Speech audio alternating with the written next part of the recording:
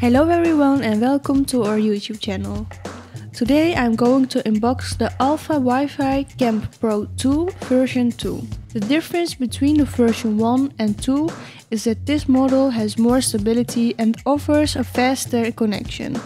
The Pro 2 version 2 spreads the internet connection offered in your area.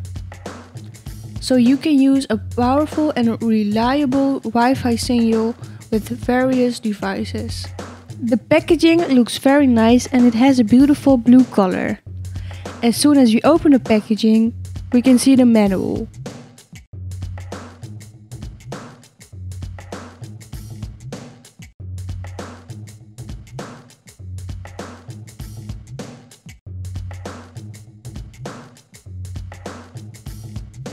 Here we can see the router and the antenna of the router. You can place the router in your vehicle, boat or house.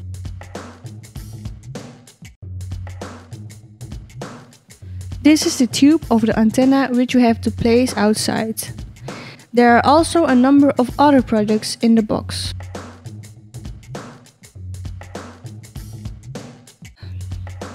Like an UTP cable, an USB cable, a waterproof tape,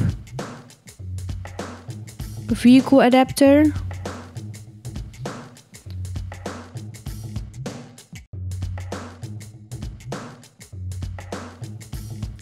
tie ribs,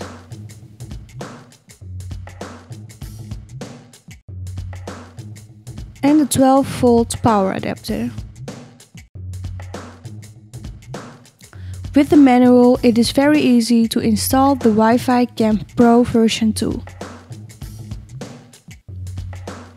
As you can see, it is very easy to place the antenna of the router. The Wi-Fi Camp Pro 2 version 2 has a new omnidirectional tube antenna.